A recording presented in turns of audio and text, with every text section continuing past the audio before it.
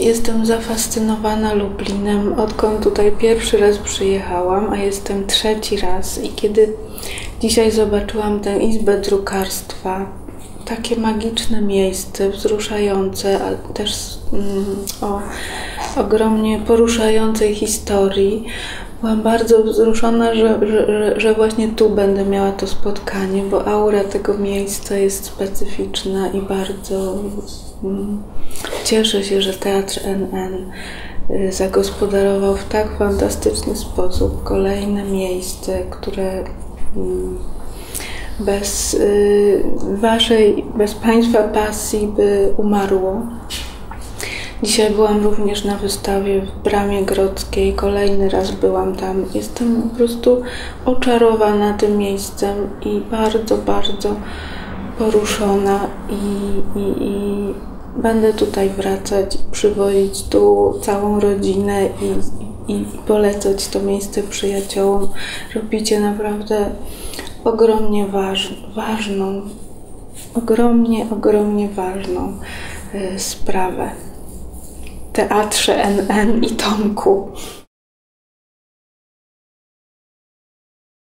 Przyjechałam z Torunia opowiedzieć tutaj Państwu w ramach spotkań y, na festiwalu Miasto Poezji o swoich książkach autorskich, o swoich fascynacjach kategorią książka obrazkowa, w której obraz y, pełni wraz z tekstem równorzędną rolę.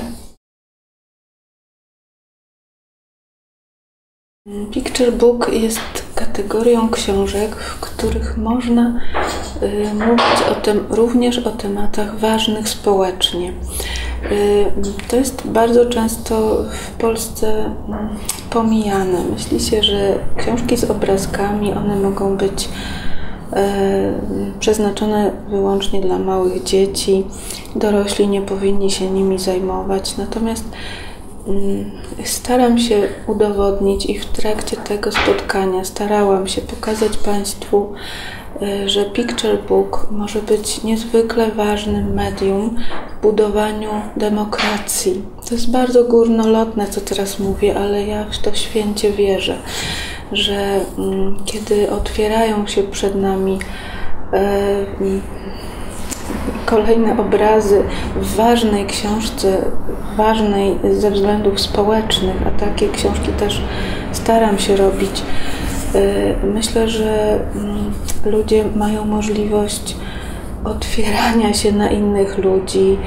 Y, po prostu książka Picture Book ma niesamowitą siłę wyrazu i, i, i, i jestem bardzo szczęśliwa, że mogę takie książki tworzyć że mam możliwość wydawania ich y, w Korei Południowej, teraz w Niemczech i ostatnio dwie z nich również ukazały się w Polsce, z czego się bardzo cieszę, jestem dumna.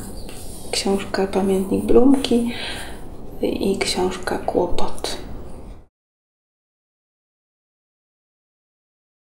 W tej chwili pracuję jednocześnie nad trzema książkami a już y, mam pomysły na kolejne, więc to cierpię ostatnio na brak czasu tylko i wyłącznie i brak skupienia, bo, bo dość dużo mam ostatnio wyjazdów i, i chciałabym wreszcie zasiąść w mojej pustelni, która tak naprawdę nie jest pustelnią, bo mam czworo dzieci i, i, i dużą rodzinę i ciągle myślę o nich i i, i, i cały też dom jest na mojej głowie, ale w międzyczasie e, też tworzę książki. Jestem najszczęśliwszą osobą.